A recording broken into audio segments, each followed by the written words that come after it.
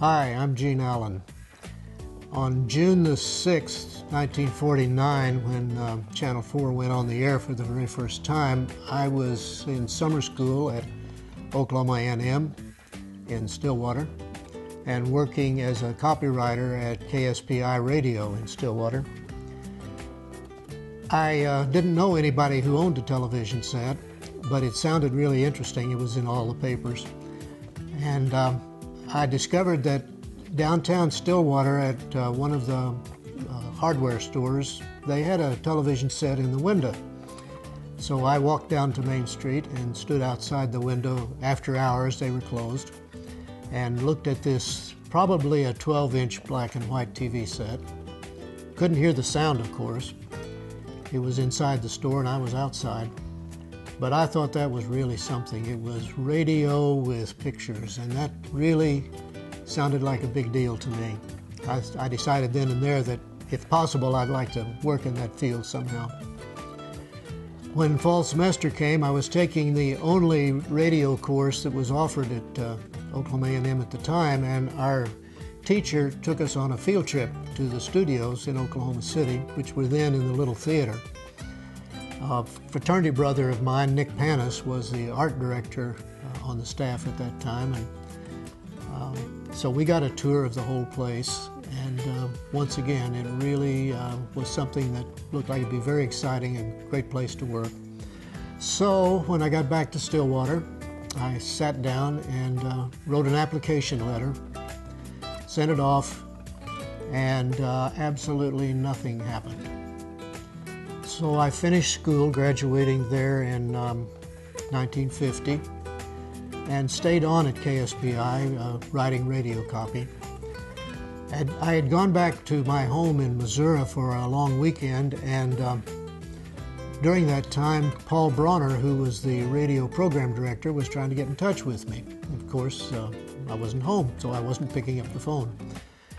But he was very um, accommodating kind of guy, and when I got back home in Stillwater, here was a telegram in the door.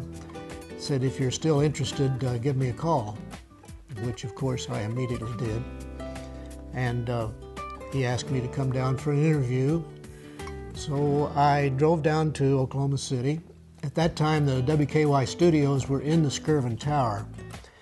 And um, I uh, parked the car, walked down to uh, the studios, and the Skirvin Hotel across the street at that time had a shoe shine stand in the basement. And I thought, well, I need to put on the best possible face or foot, if you will. I've got, I've got to sell this deal. So I got myself a shoe shine, walked across up to the studios, identified myself, sat down and waited, and uh, a little nervously, I must say. Mr. Bronner came out, went back to his office. We talked for about perhaps 15 minutes, and he offered me the job, which I immediately accepted. Showed me around the, uh, the studios. To my absolute total amazement, there were five people who did nothing but write for that radio station. Today, that's of course ridiculous. No station does that. But WKY Radio at that time had a rule that everything that went on the air had to be written.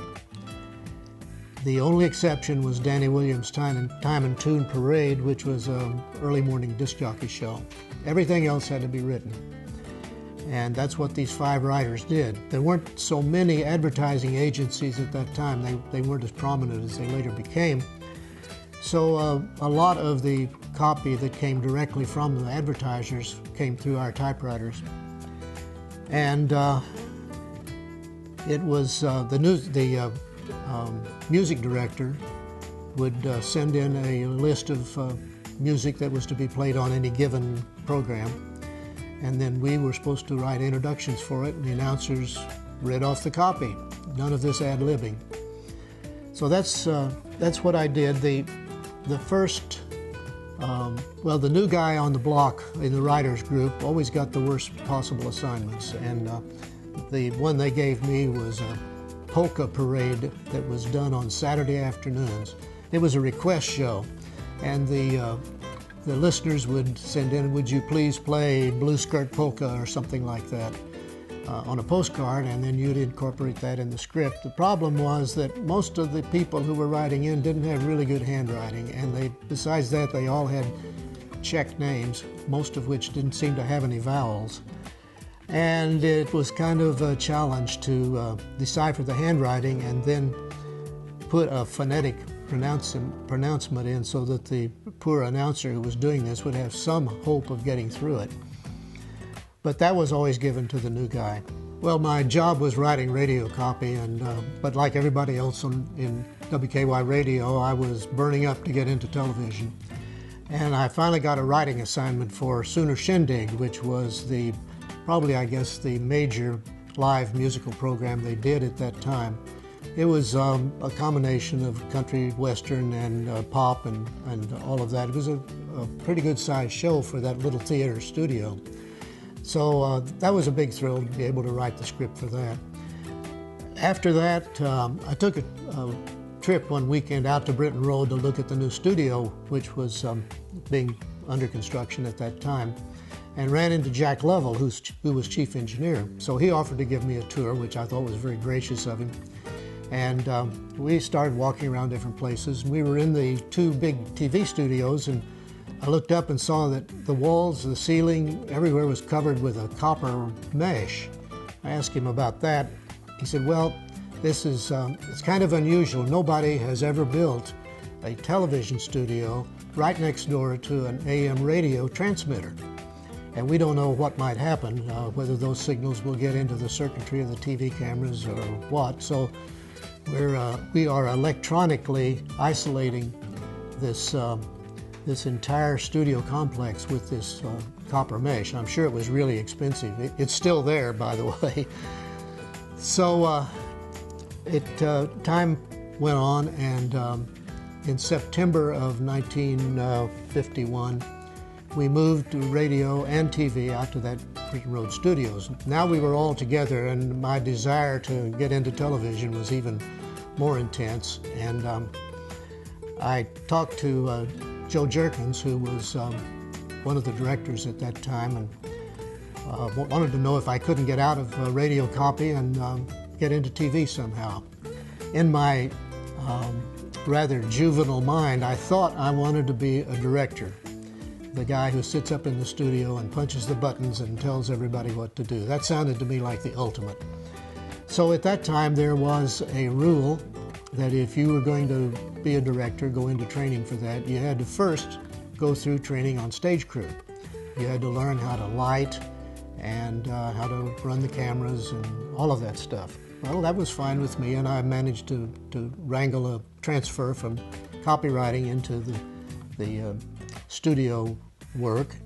It was, um, they, were, they were very um, particular about their video pictures at that time. Most TV stations in that era just simply put up some fluorescent lights and, and what they call flat lighting everybody, but that wasn't good enough for, for Channel 4. They, um, they went to Hollywood and bought a bunch of focused lights and, uh, and a lot of other equipment that really went with the, um, with the movie industry. And we had to learn how to light, uh, three-point lighting, a key and a fill and a backlight.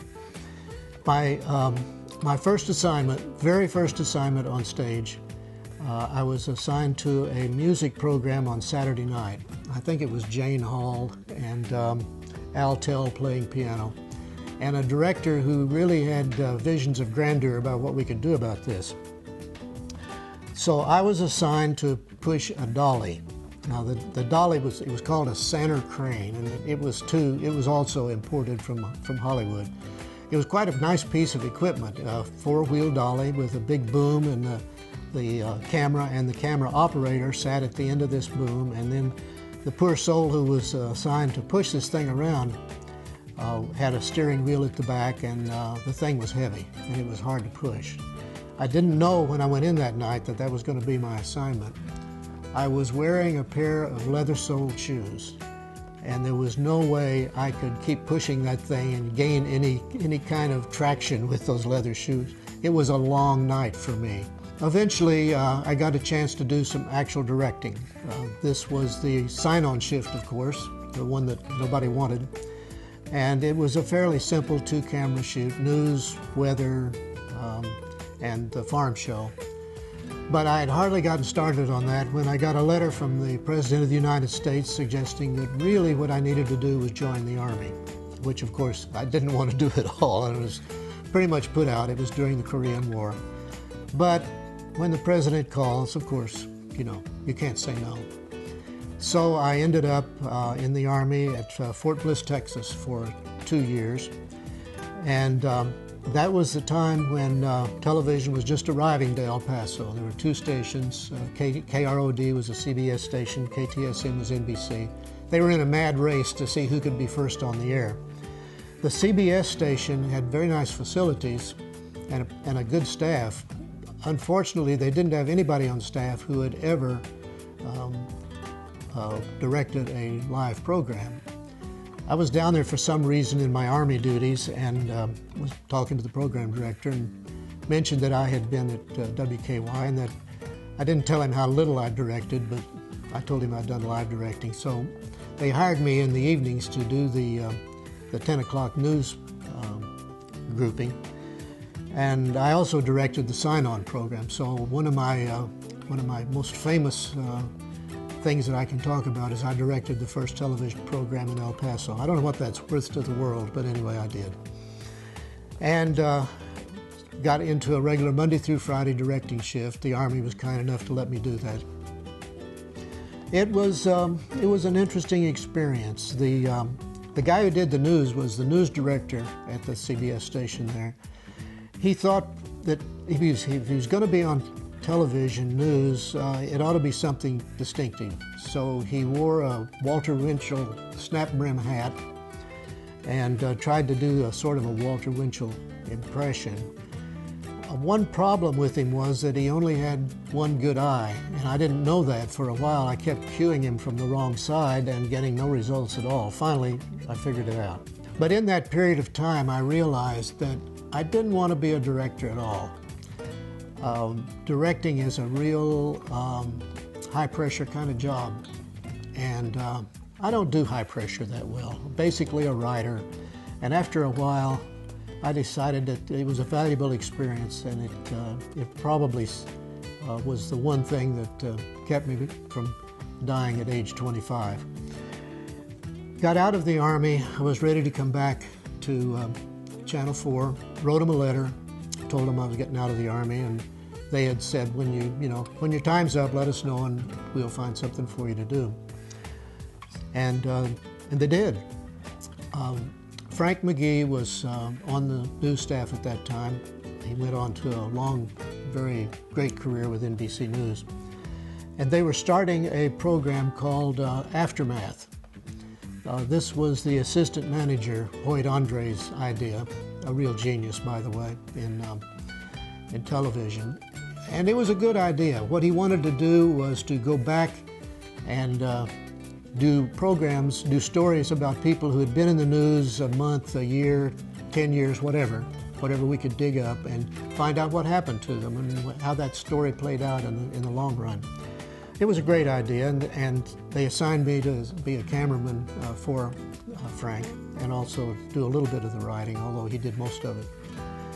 I had uh, sort of taught myself to shoot 16, milli 16 millimeter film in the Army, and uh, I wasn't as experienced as probably everybody thought at the station, but I figured I'd learn it as I went, which I did. Most, most all of us did that. Well, Aftermath was a was really a brilliant programming idea. The only problem was it was five nights a week, 15 minutes, and Frank and I were the only people producing it.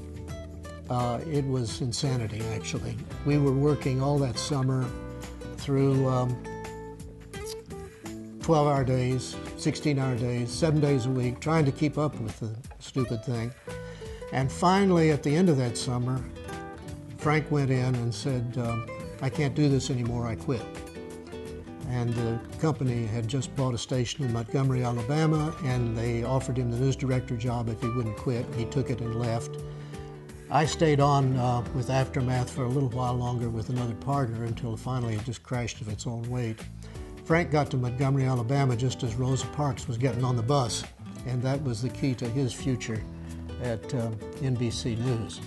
I went back in the news um, rotation, shooting uh, news stories on the street, writing scripts, that sort of thing. And uh, that went on for, oh, probably a year or two. In 1954, another cameraman joined the station, a fellow by the name of Scott Berner. And uh, he'd been a still photographer in uh, Mississippi, but uh, nobody was asking too many questions in those days about how much uh, movie experience you had, so we all learned together. Dick John, who was the news director, uh, called me and Scott in one day and said, uh, We would like to organize a documentary crew, and we want you two to, to do it. And we said, Okay, um, what do you want us to do? And to our astonishment, he said, Well, you figure out what ought to be done, keep us informed, let us know, get, get to work, and uh, start, start doing some documentaries. Well, we thought we'd died and gone to heaven. I mean, what, how great an assignment is that to actually be given the freedom, probably unheard of today, to do whatever you think ought to be done. One of the things that uh, we thought would be a good thing, we were both interested in preserving Oklahoma history. We had heard about a newsreel photographer in the state back in the 1920s and 30s, the name of Benny Kent, out of uh, Chandler. Johnny Shannon, uh, the photographer at the station, had told us about Benny. And somewhere um, he, he had saved all of this 35 millimeter newsreel film that he shot, plus a lot of other stuff that he shot. He'd covered everything that moved in Oklahoma from about 1918 on to um, 1945. The film was supposedly, it existed somewhere, but nobody knew what had happened to it. Uh, Benny had died, and we looked rather extensively for it, and we just couldn't come up with any clues at all what might have happened. We found out later that um, Benny had tried to sell it to the city of Oklahoma City, to this place and that place, and nobody was interested. And eventually, Lew Wentz, uh, an oil man in Ponca City, uh, had bought it uh, for an unknown amount. He didn't know what to do with it either, but uh, he, he put it in his a corner of his office. Uh, in those days, 35 millimeter film was on what's called a nitrate base. Uh, it, it's no longer used. It's one of the reasons you can't smoke in movie theaters because nitrate based film not only burned, it almost exploded when, ex when uh, exposed to a flame, and in the process of burning, gave off uh, poison gas.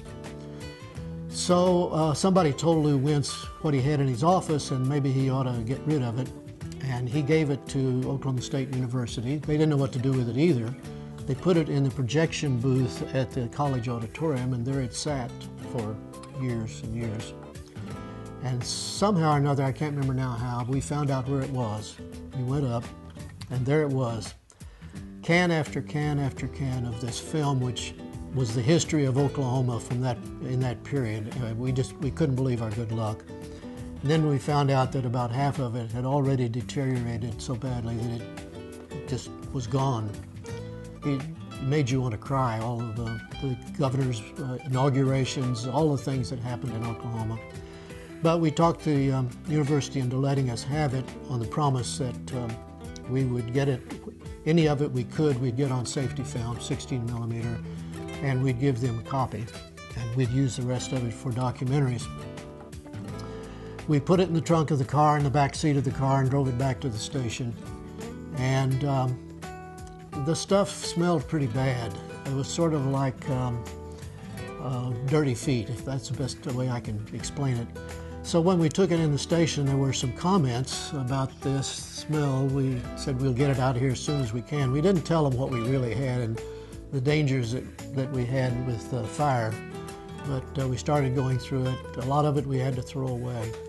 Some of it uh, we sent to Hollywood uh, for a special print job because it had shrunk and, and, the sprocket holes no longer matched up with the standard 35 millimeter projector. Eventually, we got enough material to do, I believe, 12 documentaries on Oklahoma history. These were, um, they're pretty successful. Um, they, uh, they won awards from the Western Heritage Center we were actually, with one of them, we were nominated for an Emmy. Uh, we didn't win it. Uh, some station in Philadelphia, I believe, won it with a documentary on the plight of old people, which we always thought was just more East Coast bias against what we were doing out here in the, in the heartland. But the station got even with them the next year when um, George Wesley, Bob Dotson, and Oliver Murray won the Emmy for their documentary Through a Looking Glass Darkly.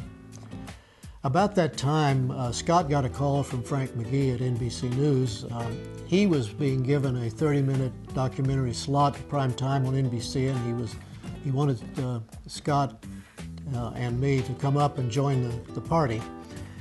I didn't go uh, because I had three little girls and uh, res responsibilities back here, and I couldn't see moving to New York City. Scott, however, uh, he took off and had a long career with, uh, with NBC News. And I went back into uh, the, uh, the general run of news, and it was a, it was a pretty good life.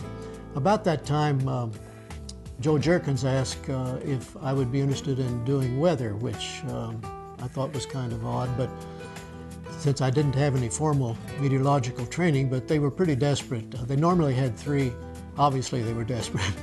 they uh, normally had three meteorologists on staff, and somebody had uh, resigned, and they needed somebody to fill in the early morning shift. And um, so Joe had me cut an audition, which uh, I have to say was really, really bad. But he was a, he was a real good good guy, and he worked with me, and so I started doing uh, early morning weather in addition to what I was doing on news.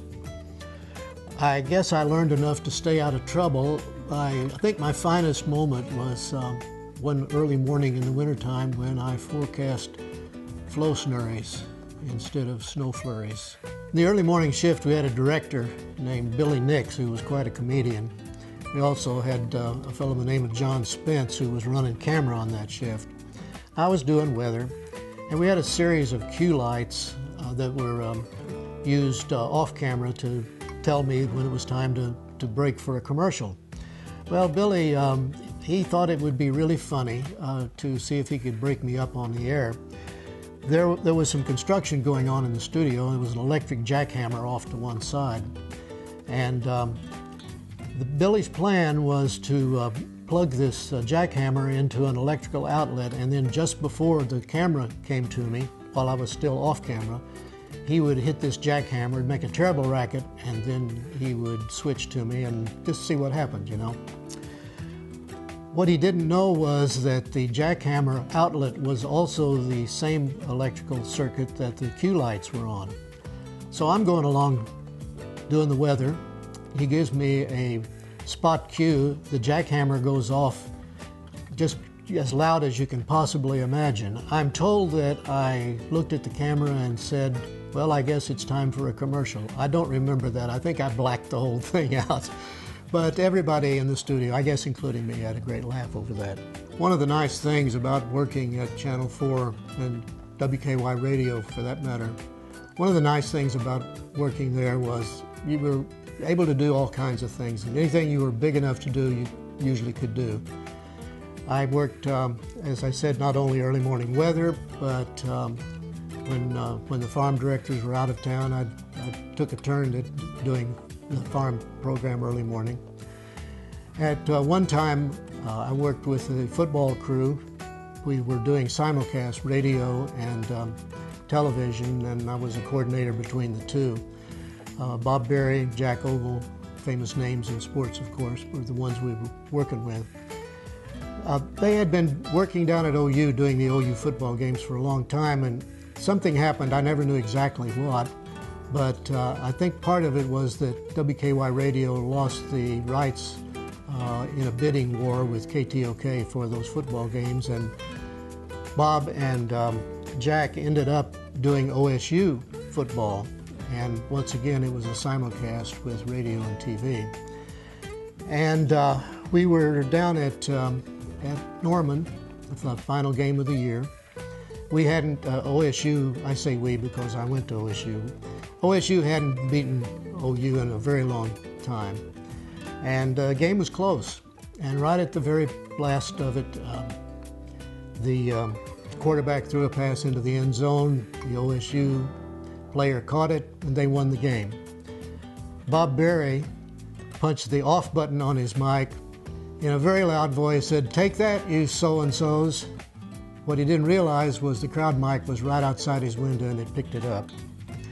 And we all had a laugh about that. I think um, when they did the uh, play, playbacks on television, they uh, came in and took those that little exclamation part out. Anyway, most people don't know what ever happened. Way back in 1949, when I first saw that black and white TV set in the window of a store in Stillwater, I always thought this was what I wanted to do, and I thought this was the place I wanted to be. It was a great ride, a great place to work, great people, and um, I pretty much loved every minute of it.